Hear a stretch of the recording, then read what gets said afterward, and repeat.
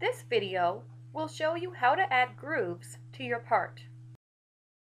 Grooves are recesses cut into the inside or outside wall of a part. As an example, let's add grooves to a square block. Draw a rectangle and set the vertical and horizontal dimensions to 2 inches.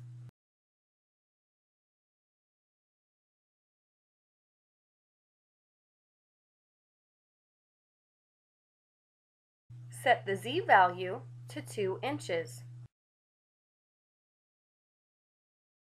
The 3D view shows a simple block.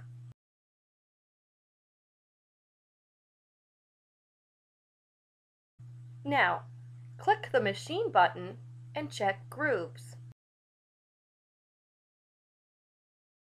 Click the Parameters button to specify the top depth, width, and horizontal depth of the groove.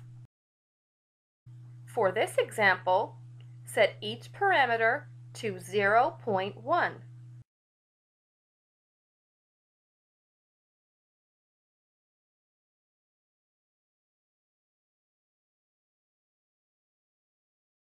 To add the groove to the design, click the Add button.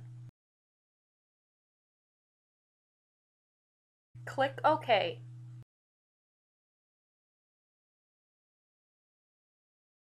Click the Pyramid button to see the three-dimensional view and notice the groove. Grooves can also be added to a turned part using the Revolve feature.